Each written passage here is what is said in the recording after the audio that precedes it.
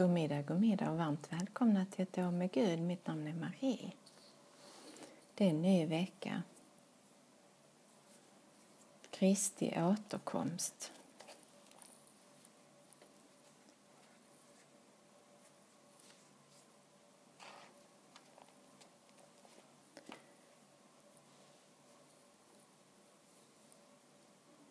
Min bibel är alldeles blöt.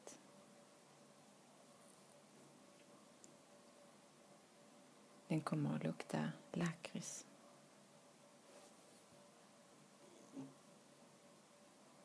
Här har vi boven.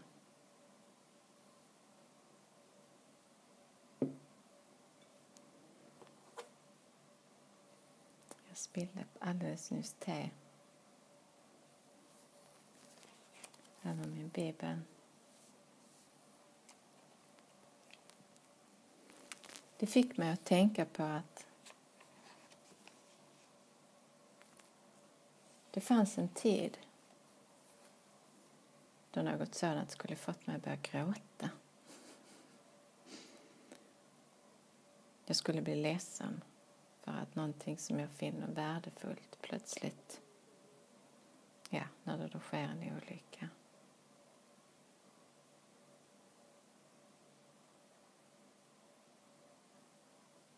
Och när jag tittade på teet och så tittade på muggen som med alla hjärtorna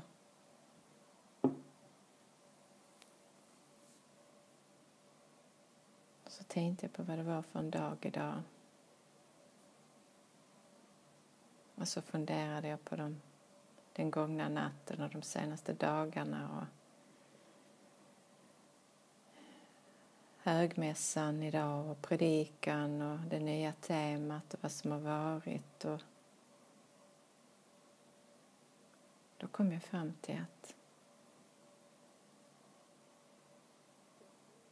jag önskar mig en ny bibel.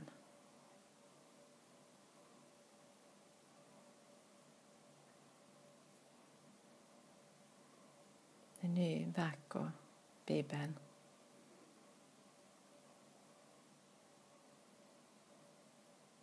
som en förnyelse av kärleken. Som en present till mig.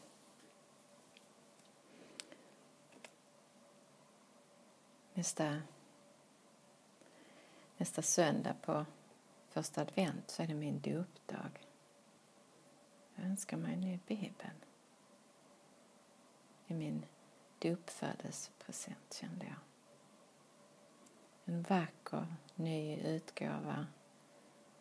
Gärna feminin och fin.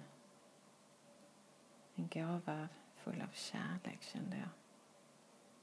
Så tack Gud. Tack Gud för att jag spillde ut teet över hela boken här. Och att jag någonstans också kunde tänka och känna att det här lakritset, teet har jag fått av min själasyster och hon brukar alltid dricka den här muggen som egentligen är min sons. Så allting var liksom gott. Så därför så kunde det som sker bara vara gott. Det är så jag lever mitt liv och ser på saker när de händer. Gud finns överallt, i allting som sker. Jag behöver inte bli ledsen för att min, min bok är blöt och mitt fina skinnomslag också är blött. Utan det är tid att önska mig en ny bibel. Kristi återkomst. Det är Matteus evangeliet 25, 31-46, En lång text. Men fantastisk. Så här lyder den.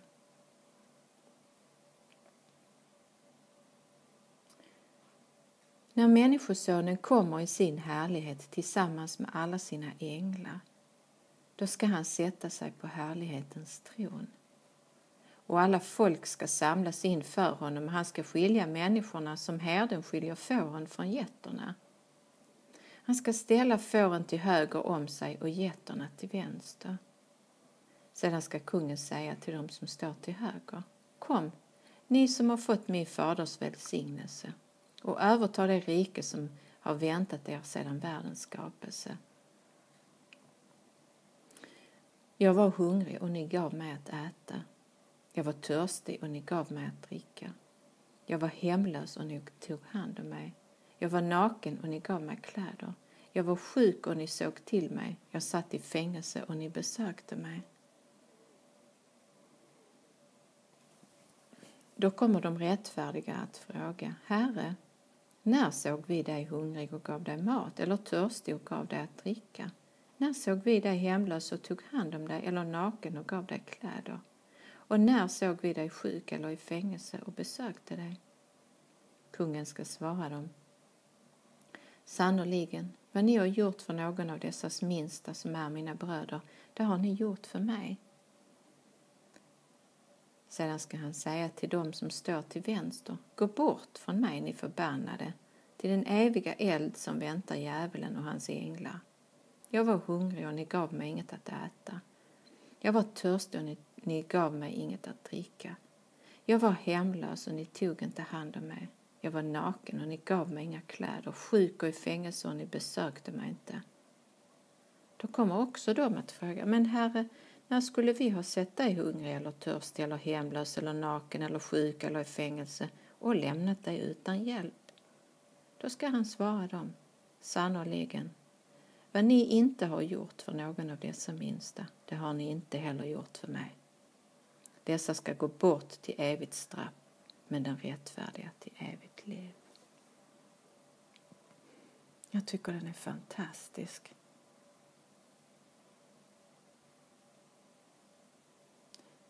Jag tror att det fanns en gång en tid i mig själv i alla fall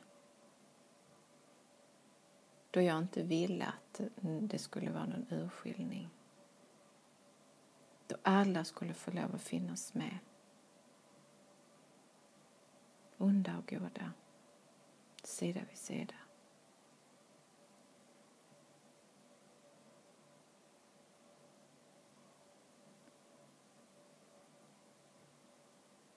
Kanske är det för att jag har lärt känna min egen ondska som jag är innerligt tacksam att jag tror på att det kommer en dag när Gud skiljer ont från gott. Och hur han mäter, det vet jag inte. Det är inte för mig att förstå. Som människa så har vi instinktivt en känsla av vad som är rätt och fel, vad som är gott och ont. Sen finns det tillfällen där vi faktiskt inte riktigt vet vad som är ont och gott. Det finns det som är självklart och det är det som ligger i gränslandet. Bara Gud vet när, vad det var. Men jag tänker att Gud vet vad som är ont och gott. Och om det kommer en dag då Gud ser på mig och ser att, att jag faktiskt har gjort ont.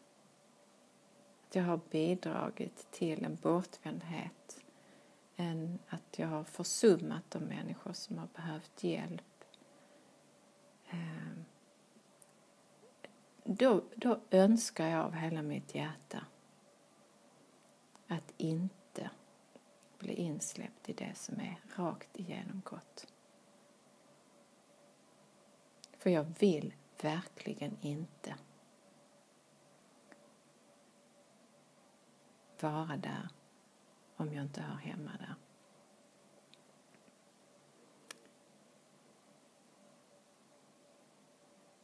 Den eld Gå bort från mig, ni förbannade, till den eviga eld som väntar djävulen och hans änglar.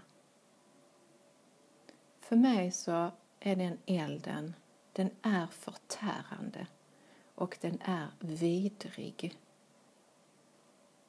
Inte för att det är en eld som är ondska utan för att kärleken är så plågande och så hemsk att möta om man är ond. Den gör så ont. Den skär rakt genom allting. Så för mig är den elden en kärlekseld. Den eld som man kanske har en del tänker som en helveteseld. För mig är den himmelseld. Den bränner bort allt som inte är kärlek. Och det är plågsamt om man har valt och vill vara ond. Om man verkligen har valt det också dessutom. Så jag hoppas att den urskiljningen sker. Inte av människor. För människor vet inte varför och hur och vad som ligger bakom. Och det som ser gott ut på ytan behöver inte vara gott på under Men jag hoppas att den sker. Jag hoppas det för det godas skull, för kärlekens skull.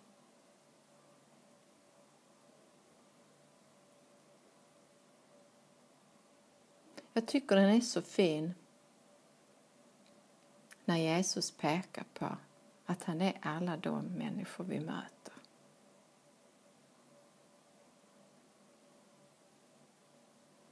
När de frågar, men Herre, när såg vi dig hungrig och gav dig mat eller törstig och gav dig dricka? När såg vi dig hemlös och tog hand om dig eller naken och gav dig kläder? Och när såg vi dig sjuk eller i fängelse och besökte dig? Kungen ska svara, sannerligen. Vad ni har gjort för någon av dessa minsta som är mina bröder, det har ni gjort för mig.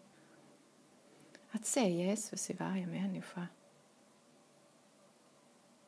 Och i synnerhet människor som är i nöd. Att se Jesus i varje människa som är i nöd. Det är att göra någonting för Jesus. Att gå förbi en människa som behöver ens hjälp. Det är att också vända ryggen till Gud.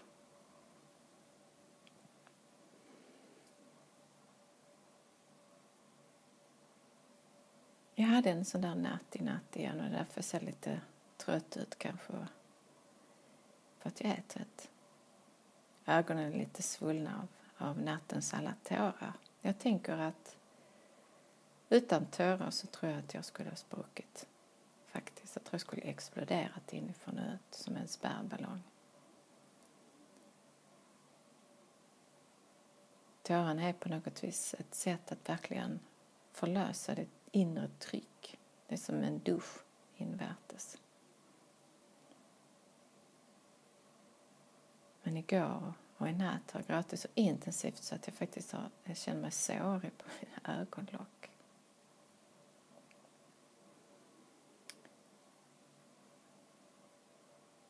Till slut var jag tvungen att gå upp.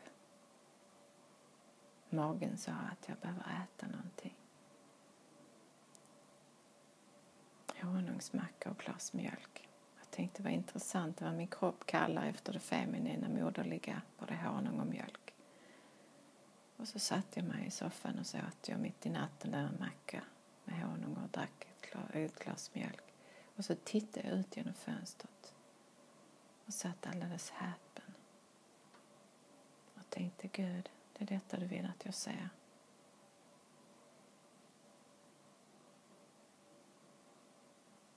Orions bälte. Tre klart lysande stjärnor. Jag satt alldeles förhäxad, kändes det som helt förtrollad över bara tittade på de här, jag har aldrig sett dem ligga så lågt på himlavalvet någonsin. I gengäld brukar jag inte vara uppe mitt i natten. Jag tänkte, det är detta du vill visa mig. Fader, Son, Helige Ande. Den treenige Guden. Ljuset i mörkret. Skaparen av allt som är. När jag hade ätit upp mina smörgåsar och druckit upp mitt mjölk så gick jag fram till vardagsrumsfönstret och så tittade jag upp på himlavalvet. Jag bor på landet så fördelen är att om det inte är en massa moln och det var inte så mycket moln så blir himlen väldigt klar och det var väldigt vacker himmel. Verkligen sån här natthimmel där man kan titta på stjärnorna. Och sen plötsligt så kom sorgen över mig. När jag insåg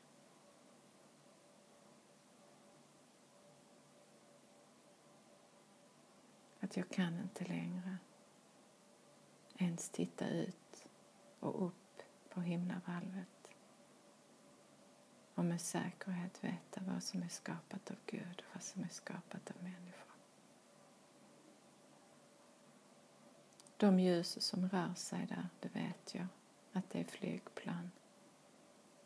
Men allt fler satelliter sänder vi upp, skräpar ner också i himlen. Massa skrot som cirkulerar där uppe. Sådant som funkar och sådant som är förbrukat. Jag insåg att jag kan inte med säkerhet längre ens titta upp på himlavalvet och veta att det jag blickar upp på är bara av Gud. Jag är inte säker på vilka ljus som är stjärnorna som Gud har skapat och vilka som är satelliter.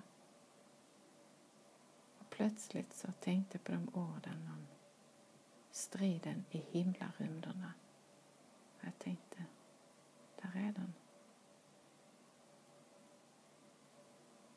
Där är den.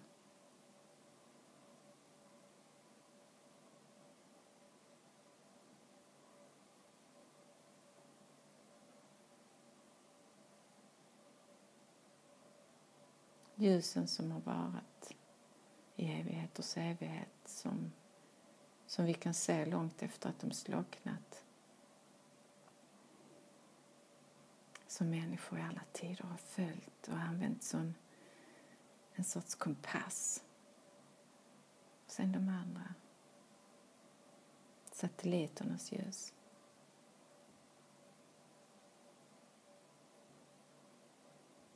De kallar på vår uppmärksamhet men ger oss egentligen ingenting tillbaka mer än en massa skit för det mesta. Så kan sorg det komma över mig. När jag insåg att inte ens det är heligt och fredat, inte ens himlen. Så än gladare blev jag då, blev jag då när jag i denna morgonen jag åkte till högmässan och jag tittade på vårt vackra nattvardsbord. Den alltid lika fina dukningen med levande ljus och, och färska blommor, snittblommor och den fina vita duken och mässans vackra tyger. Och så såg jag där på bordet tre ljus. Och jag tittade in i skenet på lågan och tänkte det här är samma ljus som jag satt och tittade på på natthimlen. De här tre ljusen, de här tre lågorna, är en reflektion av de tre stjärnorna som kommer från Gud.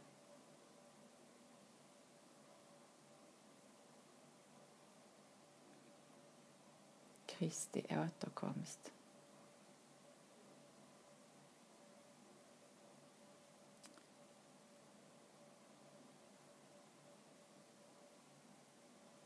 Nog behöver vi honom, tänker jag. Nog behöver vi honom för att urskilja vad som är rätt och fel och gott och ont.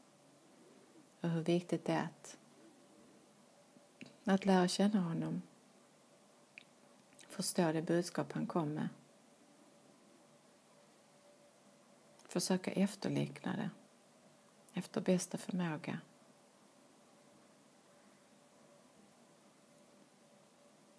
Vad ni har gjort för någon av dessa minsta som är mina bröder, det har ni gjort för mig. Precis som han säger, sannoliken vad ni inte har gjort för någon av dessa minsta, det har ni heller inte gjort för mig. Så bra att ha det som en utgångspunkt.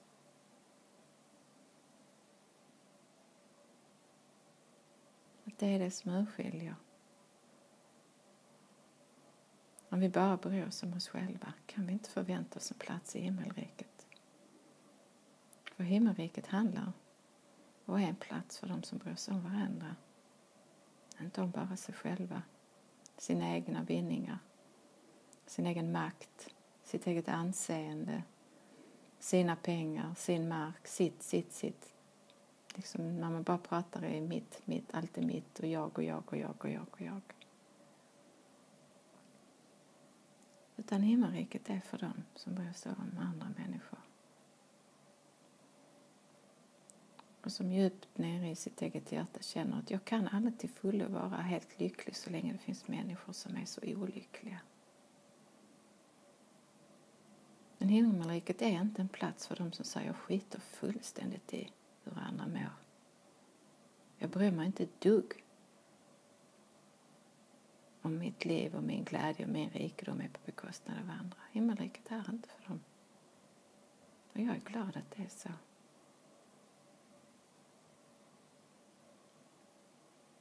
Vill man inte bry sig så är det ett val man gör.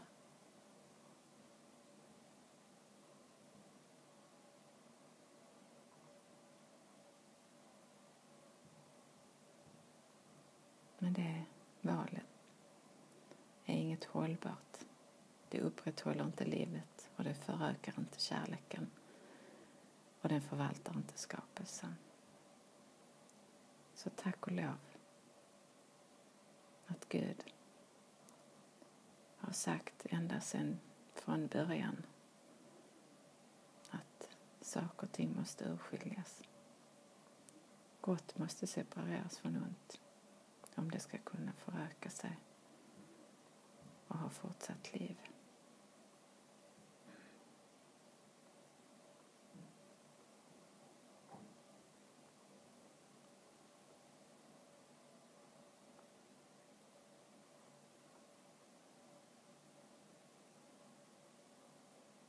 Mm. Kristi återkomst. Det är skönt att han inte är så mesig att vågar stå i, i urskiljning och rättfärdighet. Och tack gode Gud att det inte är vi människor som ska göra den urskiljningen för det hade aldrig gått vägen. Ja, då ses vi förhoppningsvis imorgon. Tack och hej.